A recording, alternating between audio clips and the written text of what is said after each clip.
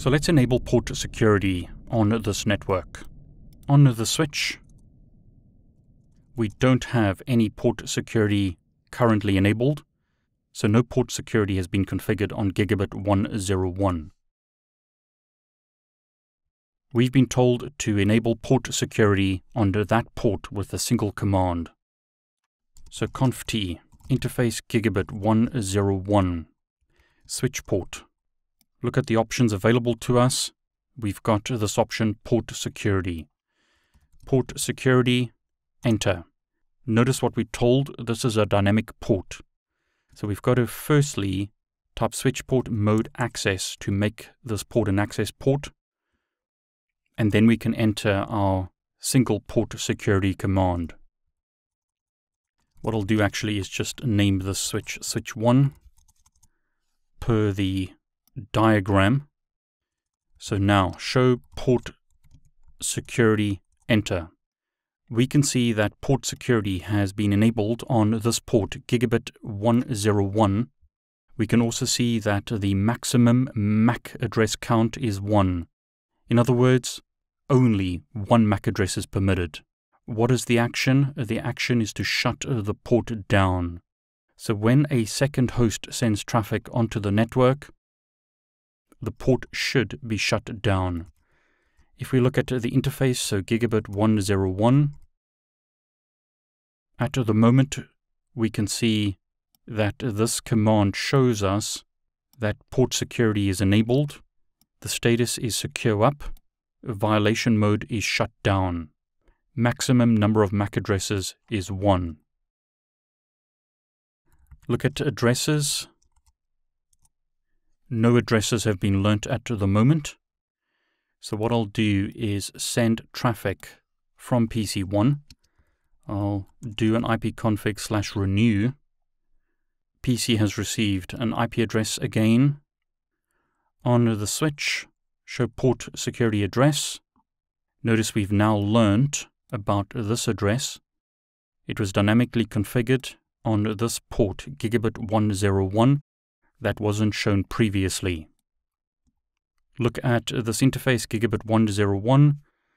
Port security is enabled. We've now learnt this MAC address.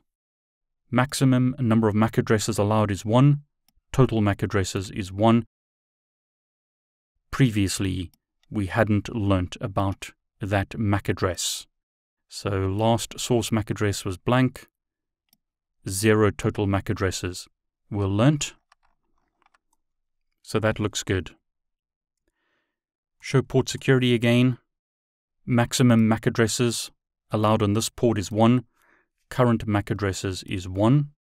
So let's see what happens when we use ipconfig slash renew on PC2. On the switch, we see some output. We can see that the interface was changed to down. Notice the DHCP request failed in Packet Tracer, we can see that the interfaces have gone red, and we're told that once again, the interface has gone down. So show port security, we can see that a violation took place. Action is to shut the port down, and that's what happened. If we look at the interface, this is the last MAC address that we saw. A violation took place because we went over the maximum number of MAC addresses permitted. Notice the port status is secure shut down. So show IP interface brief. This port has been shut down because of the violation that took place and the fact that the action is shut down. So again, maximum MAC addresses allowed on this port is 1, Violation took place. Action is to shut the port down. So the port has been securely shut down because the violation mode is shut down. Again, that's because PC2 sent traffic into the network. So by default, how many MAC addresses are permitted? One is the answer. Verify that only the first host is allowed. That's what we've verified now. What happens when the second host sends traffic? The port is shut down. Is the first host's MAC address written to the running configuration? The answer is no. show run shows us that port security is enabled on this port, but we don't see the MAC address of PC1. Show MAC address table will show us MAC addresses that the switch learns when the interfaces are up, but the MAC address is not written to the running configuration. So if I go back onto that interface and no shut the port, that port should go up unless there's a security violation that took place. No shut to the port, so I'll shut it down first actually, and then no shut it. Notice it's now come up. So I had to shut it and then no shut it. Don't forget to shut and then no shut the port to re-enable it. So show MAC address table. What we should see is we should see the switch will learn the MAC address of PC1. Notice it's learned the MAC address of PC1 on gigabit 101. Port is up. Show port security. Current MAC address is 1. Maximum MAC addresses allowed is 1. Show run again shows us that the MAC address is not written to the running configuration. So if I save the configuration and then reload the switch, what can happen is that a different MAC address could be learnt. So I'll set both PC1 and PC2 to use static IP addresses rather than dynamic IP addresses. And what you'll see happen is that the MAC address can change under that port because it's not written to the running configuration.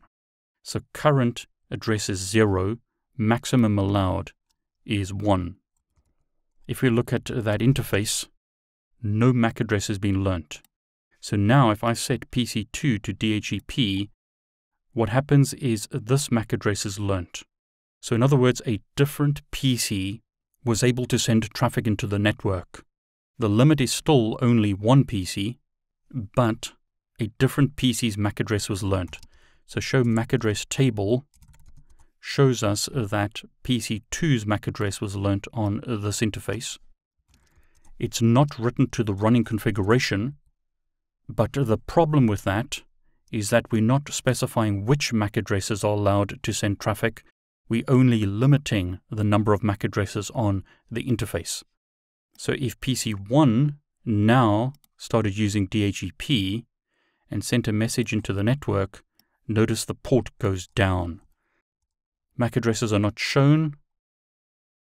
Show port security shows us that a violation took place because on this interface, this MAC address is now seen as a violating MAC address. Only one MAC address is allowed, but we're not specifying what that MAC address is.